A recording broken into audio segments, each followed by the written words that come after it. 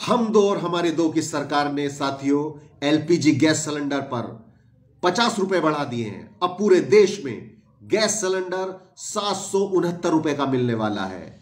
यही नहीं, काफ़ी राज्यों से खबरें आ रही हैं कि पावर पेट्रोल सौ रुपए का आंकड़ा पार कर गया है। मोदी जी सत्तर साल में ऐसे पहले प्रधानमंत्री बने हैं जिन्होंने पेट्रोल में सेंचुरी मार दी है।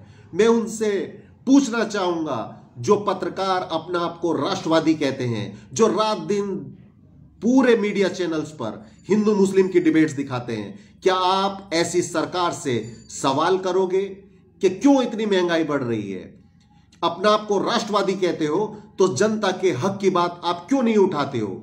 लेकिन मेरा जवाब है, वो कभी ऐसा सवाल नहीं करेंगे मोदी सरकार से, क्योंकि जब उनकी जमात के लोगों पर ही ईडी के छापे लगते हैं न्यूज़ क्लिक के एडिटर इन चीफ के घर पर पाँच दिन से रेड चल रही थी। लेकिन कुछ नहीं मिला मोदी जी को, क्योंकि जो भी पत्रकार मोदी जी से तीखे और तल्ख सवाल करता है, उसको मोदी जी ईडी से डराते हैं, उनके खिलाफ देशद्रोह के मुकदमे किए जाते हैं।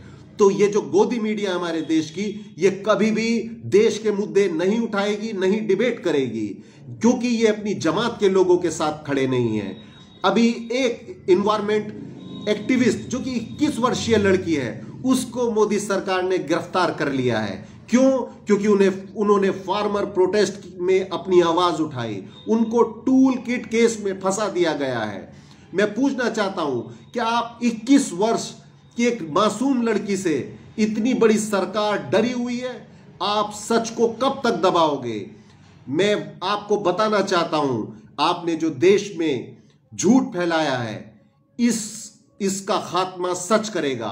आपने जो अंधकार फैलाया है, इसका खात्मा उजाला करेगा। आपने जो पूरे देश को गुमराह किया है, हमारे देश के लोग जान चुके हैं कि आपने देश को, के साथ छल किया है, कपट किया है। आपने पूरे देश की अर्थव्यवस्था को नष्ट किया है। मैं आपसे अपील करता हूँ कि एलपीजी के सिलेंडर हो या पेट्रोल के दाम हो, उसको तुरंत कम किया जाए। जो आप पेट्रोल पंपों को आपने मोदी वसूली केंद्र बना दिया है, इनको खत्म करना चाहिए ताकि रेट कम हो और आम जनता को राहत मिले।